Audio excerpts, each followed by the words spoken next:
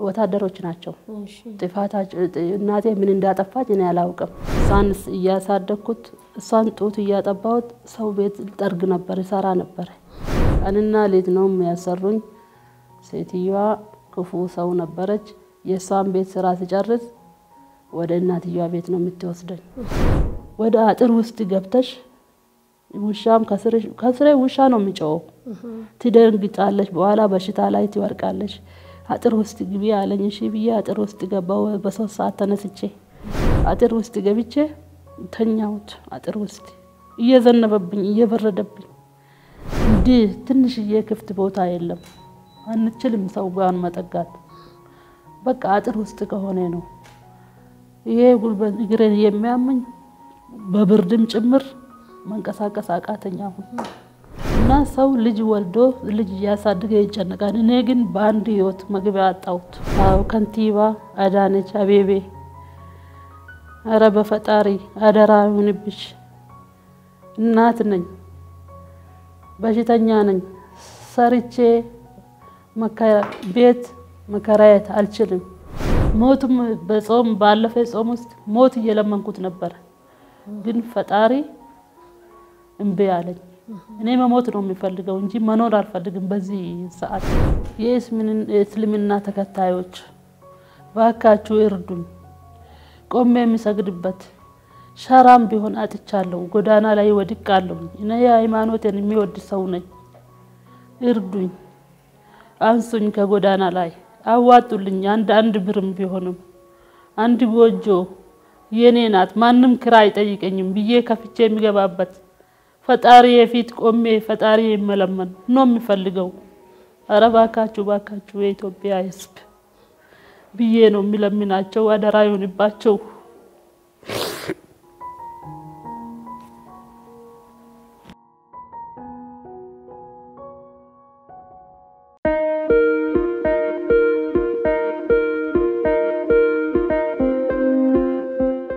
ሰላም ጤና ይስጥልን። ውዴኛ ቲቪ አድማጭ ተመልካቾች እንደምናላችሁ። ይህ እኛ ለኛ የተሰኘው ፕሮግራማችን ነው። በዛሬው የእኛ ለኛ ፕሮግራማችን አንድ ባለ ታሪክ ይዤላችሁ ቀርቤያለሁ ፕሮግራሙን በጽሞና እንድትከታተሉ ከወዲሁ እጋብዛለሁኝ።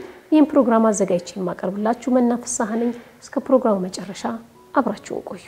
ማን ልበል ኬት ነው የመጣሽው? ሰፊያ መሀመድ ኬት ነው የመጣሽው? ከመጣው አዲስ አበባ ውስጥ አዲስ ከአዲስ አበባ ነው የመጣሽው?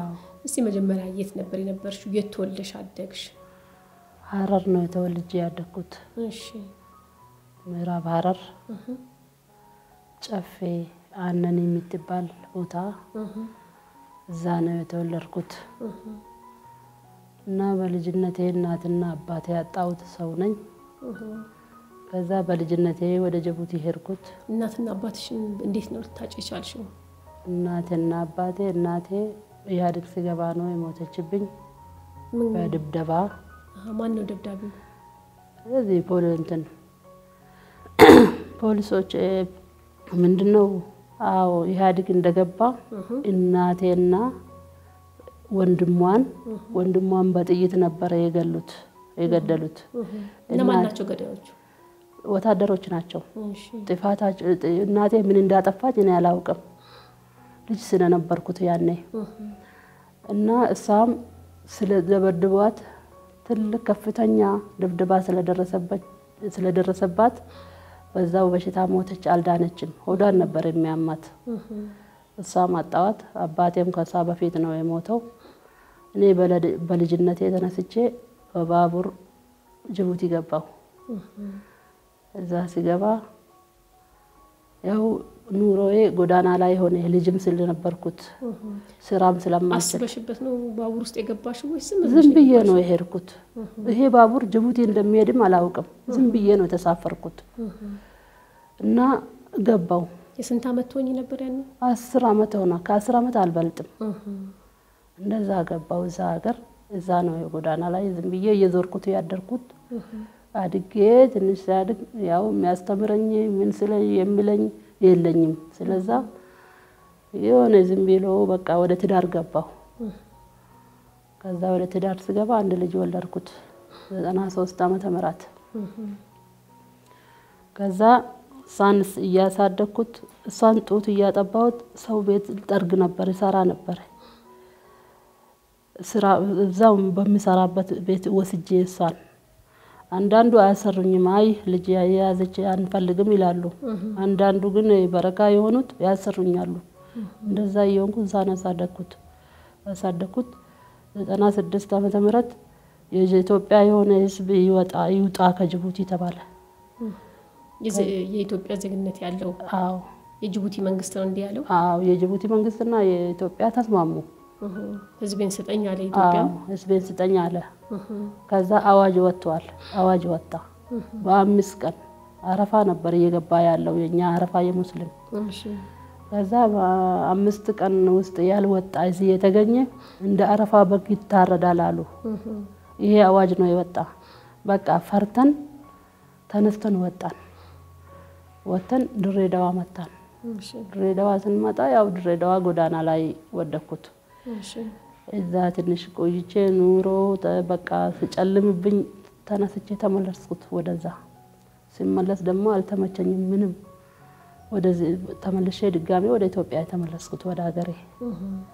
ከጅቡቲ ማለት ነው። አዎ ከጅቡቲ ባለቤትሽ አብሮሽ ነበር?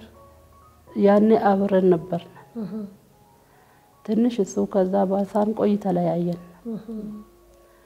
ከዛ እኔ ወደ ሀገሬ የተመለስኩና እየዞርኩት የምን በቃ እንዴት ኑሬ አላውቅም ብቻ እንግድነት እያደርኩት የለኝም መግቢያ ቤት ልከራይም እጄ ባዶ ነው፣ አልቻልኩትም። ከዛ እየዞርኩት አዳማ እንትን አረብ ሀገር ሄድኩት። አረብ ሀገር አረብ ሀገር አዎ እህቴ ጋር አደርጌ አማና ሰጥቼ ሄድኩት። ከዛ አረብ ሀገር ሲሄድ ምንም አልተስማማኝም። ቀንና ሌት ነው የሚያሰሩኝ። ሴትዮዋ ክፉ ሰው ነበረች። የእሷን ቤት ስራ ሲጨርስ ወደ እናትየዋ ቤት ነው የምትወስደኝ።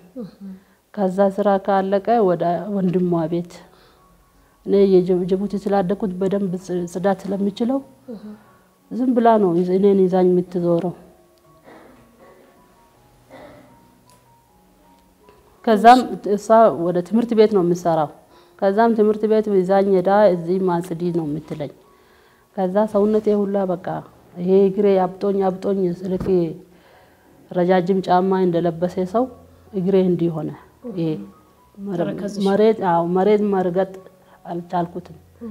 ከዛ ስራ ስራ አልቻልኩትም። ወደ ሀገር እገባለሁኝ ብዬ ሲያለቅስባቸው ስሪ በግድ አለኝ ሰውየው። ስንት አመት ቆይሽ እዛ? አንድ አመት እና በነጻ ሰርቻለሁ እነሱ ጋር። አዎ ምንም ነገር ሳልወስድ ከዛ ወደኩት። በቃ አልቻልኩትም። በቃ ሊሞት ደረስኩት።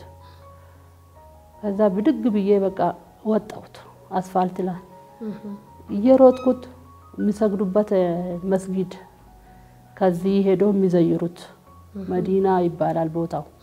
እዛ ገባው። ሲገባ ፖሊስ መፈለግ ጀመርኩት። ፖሊስ አገኘሁት። አንድ የአበሻ ልጅ አገኝቻት ፖሊስ እስኪ ጠቁምኝ አልኩትኝ። ሙሉ ልብስ ስለለበሱት እኔ ፖሊስ መሆናችሁን አላውቅም፣ ሽፍንፍን ስለሆኑት እቺ ራሷ ፖሊስ ናት የቆመችኝ አለችኝ። እሺ ብዬ አናገርኳትና እሷም ወስደዋ ወስደኝ ለአላፊያዎች ሰጣች። እዛ ኃላፊዋ ሰውነቴን ሁላ ፈትሻኝ ለባሏ ደወለች። ባለቤቷ መኪና ይዞ መጣ። አሁን በመኪና ወሰዱኝ። የት እንደሚወስዱኝ እኔ አላውቅም። የነገርኳቸው ግን እኔ መሄድ ስለ የሚፈልግ ወደ ኢትዮጵያ መመለስ ይህንን ነገርኳቸው።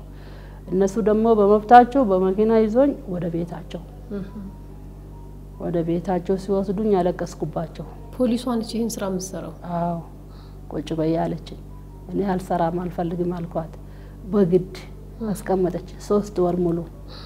ከሶስት ወር በኋላ እነሱ ወደ ከተማ ሌሊት ነው የሚወጡት። እናንተ ጋር ሄዳለሁ ብዬ ስላቸው እምቢ አሉ እና የእሷ ልጅ አለች አንድ ትልቅ ሀያት የምትባል እሷን ለመንኳትና እሷ ደግሞ እናቷን ለመነች። ታያት እስኪ ዛሬ እኛ ጋር ትሄድ ብላ ለመነችልኝ። እነሱ ጋር ሄድኩት። ሲሄድ ከተማ ውስጥ እንደገባን የእኛ አበሾች አሉ ጽዳት ሽንት ቤት የሚያጸዱት እነሱን አገኝቼ ጠፋው። ከእነሱ ስርም ሲጠፋ እሷ እግሯ ስር እንዲህ ቁጭ ብዬ እነሱ ሲወጡ እኔም ወጣ ብዬ ያው ስለለበስኩት እንደነሱ ማንም ማንነቴን የሚያውቅ የለም። ከዛ ሄድኩትና ጠፋው። ከዛ የጅማ ልጅ ከዲጃ ትባላለች አገኘዋት። የእሷ ቤት ገባሁ። ሲገባ እቺም ቆይ ነገ ሸኝሻለሁ ተነጎዳ ሸኝሻለሁ እያለችኝ ሁለት ምና ሁለት ወር ምናምን አቆየችኝ። እሷ በእሷ እኔ እንዲህ እንዲህ አይነት ሰው ተጎጂ ሰው ነኝ፣ ጅቡቲም እንዲህ ተጎጅቻለሁ፣ እኔ ስራ አልችልም፣ መግባት ነው የሚፈልገው፣ ደግሞ እዚህ ሀገር ከመጣሁ እንቅልፍ ያጣሁት ብዬ አስቸገርኳት።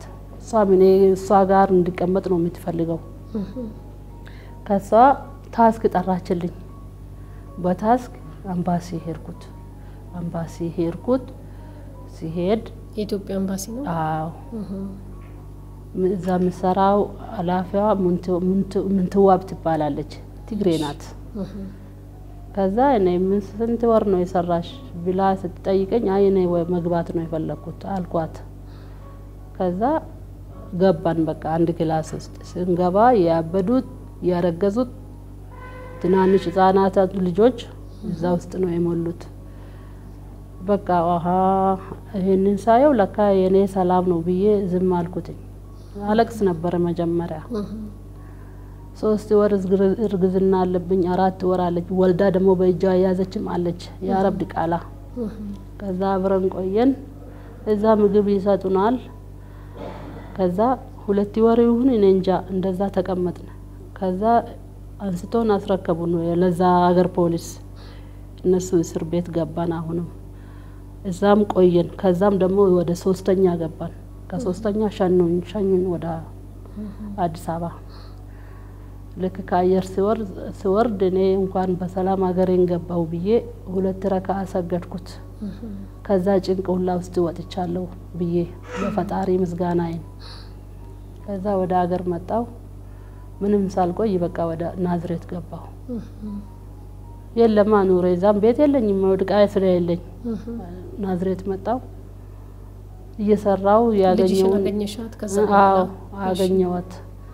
ከዛ በምን ሁኔታ ነበር ስታገኛት? ልጄን ያው ይህቴ ምንም የላትም ካስታ ምን ሆና ምን ሆና አቋረጣ ትምህርት ቤቷን አገኘዋት። እሷን ይዣት ናዝሬት ገባን። ናዝሬት ገብቼ ቆሎ ምናምን ሎዝ ምንም እየሸጥኩት ትንሽ እያነሰኛ እየተከራየሁት ኖረዋለሁ። ከዛም ስራም እየጠፋ መጣ። እሷም ሰባተኛ ክፍል እያስተማርኳት ይኸው ሄደች፣ ወደ ትዳር ገባች። ብቻዬን ቀረሁ። ብቻዬን ስቀር ስራም ኑሮ ምንም እየተወደደ ምንም እኔም ጉልበት እያጣው ይሄ ምን እየባሰብኝ መጣኝ። ከዛ ከአንዴም ሁለት ሶስቴ ወድቀሻልና እግርሽን እሱ ነው የሚያምሽ? ከአንዴም ሁለት ሶስቴ ወድቅ ያለው ብለሽ ነበር። አዎ እሱ ነው እስካሁን ድረስ እያመመሽ እያ ያለው? እስከ አሁን ድረስ ሕክምና አላገኘሁትም። ከዛ ምንም ስራ አልቻልኩትም፣ ተውኩት። ዘመድም እዛ የለኝም፣ ምንም ነገር ዘመድ አንድ ዘመድ የሚባል የለኝም። ከዛ ማንጋ ልጠጋ ግራ ስገባኝ ሄጄ ልጄ ላይ ወደኩት። እዛ እንደምንም ብዬ በማይሆን ሁኔታ ውስጥ ሆኜ እሷ ክራይ እየገባች እኔም ተጨማሪ የሆንኩባት ደግሞ ልጁም ደህና ስራ የለሁም። ተማረርኩትና ወደዚህ ወደ አዲስ አበባ መጣሁ ትቻት መቼ ነው የመጣሽው? አንድ አመት ከስንት ወር አራት ወር ሶስት ወር ይሆነኛል እንደዚህ መጣሁት። ምንም አጣሁት በቃ። ከዛ ያው ተስፋዬ ጎዳና ላይ ሆነ። ወደ ቅልንጦ መጣው። የሆነ ሸራ እንዲቆሙት ሰዎች አገኘሁት፣ ሸራ ውስጥ የሚገቡት እነሱ ጋር ሄድኩት። ስጠይቃቸው እሺ ነው ያልኩት አሉኝ። ሸራ ወጥረው ሸራ ያሉ ሰዎች አሉ። አዎ በጎዳና ላይ የሚኖሩ በጎዳና ላይ እነሱን አገኘሁት እና እነሱ ጋር ሆንኩት። እነሱ ጋር እየሆንኩት እነሱም ተበታተኑ በፖሊስ ይህ ህገ ወጥ ሸራ ነው ተብለው በቃ ተበተን። እዛው ስንበትን ጉልበት ያሉት ሄደው ተከራዩ። የሆነም የሌሎችም የገቡበት ገቡ፣ ብቻዬን ቀረሁ። ለካ እዛው አካባቢ የሆነ አማን ብቅላ የሚባል ሰውዬ አለ። ሁለት ሶስት ሶስት መንታ ሶስት ጊዜ የወለደው እሱም ይህን ሰሞን ወደ ሚዲያ የቀረበው እና እዛ እኔ ሸራው ስበተን መንገድ ላይ እንደዚህ ኮብልስቶን ላይ ቅሊንጦ ሰፈር ነው ተኛሁት። በቃ እንደዚህ ቆሻሻ የሚያልፍበት ውሃ አለ አይደለም? ከስር ውሻ ከስሬ ውሻ ነው የሚገባው የሚያድሩት ውሾች። ከላይ ሸራ አንጥፌ ተኛሁት ሁለት ቀን ስተኛ ይሄን ብቅላ አማን ብቅላ የሚባል ባለመንታው ያየኛል፣ ጠየቀኝ። አይ እንዲህ እንዲህ ስለሆንኩት እኔ መሄጃ ስለሌለኝ እና እዚህ ሆንኩት አልኩትኝ። ነይ እባክሽ አለኝና ወደ ቤት አስገባኝ። ዝናብም ነበር አይደለም። እነሱ ጋር አንድ ቀን እንደተኛው ጠዋት እነሱም ከቤት ተባረሩ። ኮንዶሚኒየም ውስጥ ነበር የሚገቡት። ከቤት ወጡ ከነመንታቸው ከነይቃቸው ከነምን እዛው ደጃፍ ላይ የሆነ ሸራ ወጠሩት። እኔ ሄጄ በቃ የመጀመሪያው ቦታ መተኛት ስጀምር በቃ እኔ እዚህ ውስጥ ሁኚ ጅብ ይበላሻል። ጅብ አለ ደግሞ ጫፍም ነበረ። ጅብ ይበላሻል አለኝ። እሺ ብዬ ተጨንቄ እዛው ሸራ ውስጥ እነሱ ጋር እየሆንኩት ወይዘሮ ሲስተር ሂሩት መታ አገኘችኝ እዛ። ከዛ እዚህ መምጣት ቻልኩትኝ እናንተ ጋር ማለት ነው። እና እንዲህ ነኝ።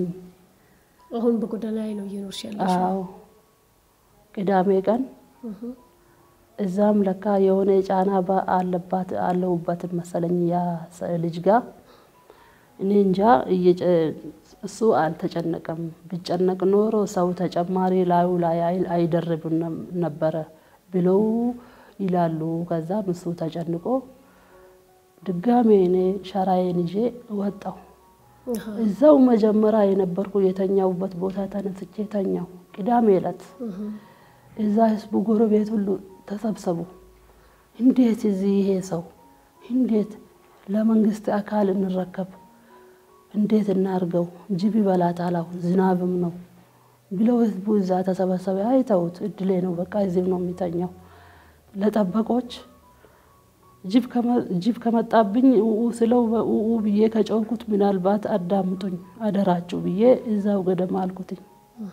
ገደም ለማታ ወደ ሶስት ሰዓት ተኩል ሲሆን የሆነ የጠበቃ ወደ አጥር ውስጥ ገብተሽ ውሻም ከስሬ ውሻ ነው የሚጮኸው።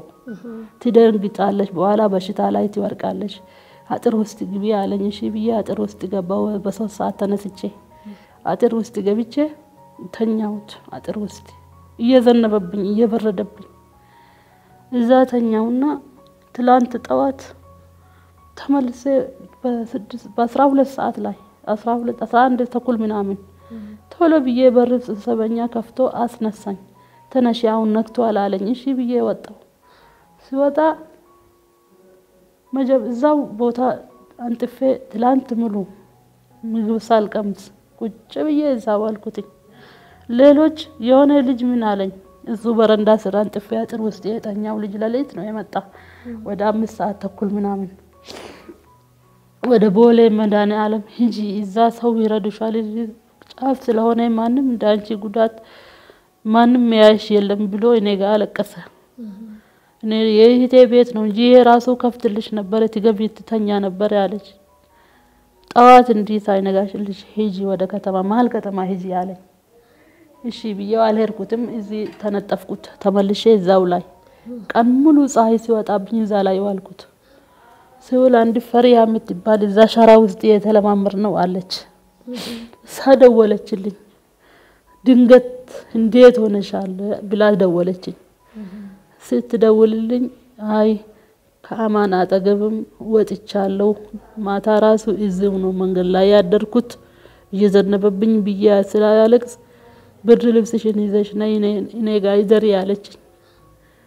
እሺ ብዬ ትላንት ስዘንብ እሷ ጋ ሄድኩት በዝናብ ውስጥ እሷ ጋ አድሬ ቀጥታ አሁን ወደ እናንተ የመጣሁ።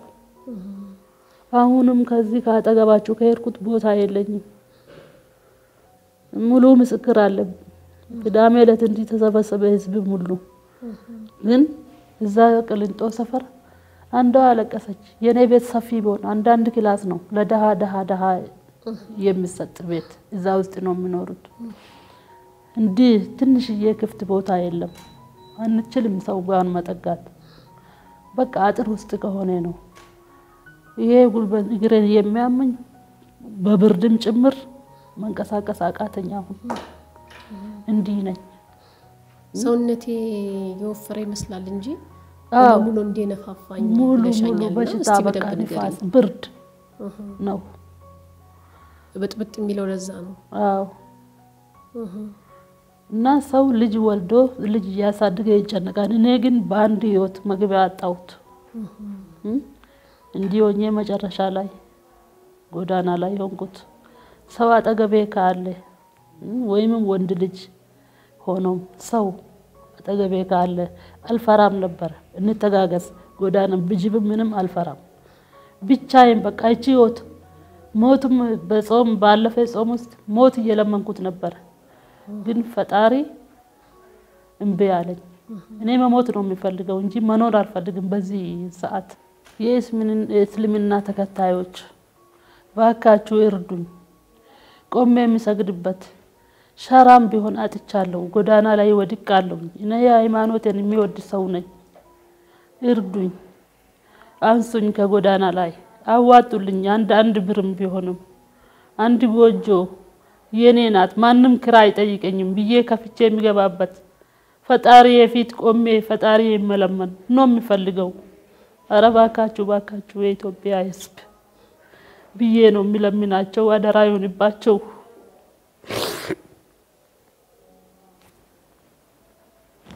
በቃ ትያዳ መናገር አልችልም እኮ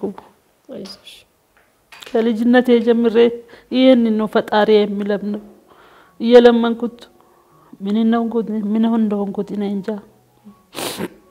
እስከ ዛሬ የትም ሀገር የትም ሀገር ያልፍልኛል ብዬ እየተንከራተትኩ ዛሬ ደረስኩት። እኔ ላይ የደረሰ ይሄ ነገር አልመኝም ሌላ ጋር እንደደርስ? እኔም እንደ አንድ ሰው እንዳው በነፃ የተኛሁት እችን ሸራ ውስጥ ነው። እችን ሁለት ወር የቆየሁት ሳይቆጥርብኝ? እንደዚህ ነኝ የሚላችሁ የኢትዮጵያ መንግስት ምን ታስተላልፊያለሽ? የኢትዮጵያ መንግስትም ይየኝ ችግሬን? እንደዚህ ሆኜ የኢትዮጵያዊ ዜጋ ሆኜ ያው ይርዳኝ፣ ይስሙኝ ማለት ነው የሚፈልገው። አው ከንቲባ አዳነች አቤቤ አረ በፈጣሪ አደራ ይሁንብሽ። እናት ነኝ፣ በሽተኛ ነኝ። ሰርቼ ቤት መከራየት አልችልም። ተጎጂ ነኝ። ባክሽ ባክሽ በፈጣሪ ስም አንሽኝ ከጎዳና ላይ ነው የሚላት። እንዲህ ነው የሚላት። ሙስሊም የሆነ የኢትዮጵያ ዜጋ በእናታችሁ በፈጣሪ ስም ነው የሚለምናችሁ። አንሱኝ ከጎዳና ላይ እርዱኝ ነው የሚላቸው። ሙሉ ስሜ ሰፊያ መሐመድ ይባላለሁኝ። ሰፊያ መሐመድ ጣሂር። account number እኔን የሚረዱኝ የምትፈልጉት ሰዎች የኢትዮጵያ ንግድ ባንክ አንድ ሺ ሰላሳ ሁለት ሰማንያ ስምንት ዘጠና ሁለት ስልሳ አምስት አራት አዎ ስልክ ቁጥሬ ዜሮ ዘጠኝ ስልሳ ስድስት ስልሳ አንድ ሀያ ዘጠኝ አስራ ስድስት ይሄ ነው ስልክ ቁጥሬ። ባካችሁ ደውሉልኝና እርዱኝ። ባላችሁበት የእስልምና ተከታዮች እና የኢትዮጵያ ሕዝብ ድረሱኝ። ይሄ ነው። ስላዳምጣችሁኝ አመሰግናለሁ። እናንተም ባለሚዲያችሁ እኔን እንዲህም ተረዳችሁኝ። ፈጣሪ በፈጣሪ ስም ነው የሚያመሰግናችሁ። እሺ እንግዲህ ባለ ታሪካችን እናመሰግናለን። መልካም ነገር ተፈጥሮ ብዙ ሰዎችም ተረባርበውልሽ ረድተውሽ በደስታ ደግሞ ተገናኝተን እንደዚህ ደስታሽን ምስጋናሽን እንድናቀርብ ፈጣሪ እርዳን። ኢንሻአላህ ኢንሻአላህ ፈጣሪ እርዳኝ። እኔ በጣም ተስፋ ጣልኩበት ህዝቤ የኢትዮጵያ ህዝብ ላይ ማንም የኢትዮጵያ ሰው እንደሚረዳኝ ተስፋ አለኝ። እስከ ዛሬ ራሱ ወደ እናንተ ብቀርብ ሚዲያ ላይ በወጣው ኖሮ እንደዚህ አልንከራተትም ነበረ። ይሄ ነው። እሺ፣ እጅግ በጣም አመሰግናለሁኝ። ፈጣሪ ይርዳሽ። እኔም በጣም ነው የሚያመሰግናቸው። ውድ አድማጭ ተመልካቾቻችን ታሪኩን እንግዲህ እንደተመለከታችሁት ነው። ባለ ታሪካችን ያለባትን ችግር በሙሉ ጎዳና ላይ እስከዚች ደቂቃ ድረስ ጎዳና ላይ እንደሆነች እና ከህመም ጋር እየተሰቃየች መሆኗን እንዲሁም ደግሞ በእምነቷ መስገጃ ማጣቷን ሁሉ አጫውታናለች። በእንባ የታጀበ የህይወት ውጣ ውረዷን ነግራናለች እና እባካችሁ እንድረስላት፣ አለን እንበላት። በሰጠቻችሁ account እንዲሁም በስልክ ቁጥሯ በመደወል አብሮነታችሁን እንድታሳዩት ከወዲሁ እጠይቃለሁኝ፣ እለምናለሁኝ። ለነበረን ጊዜ እጅግ በጣም አመሰግናለሁኝ። ሌላ ጊዜ በሌላ ባለታሪክ እንገናኛለን። መናፍሳ ነበርኩኝ። ቸርን ሰንብት።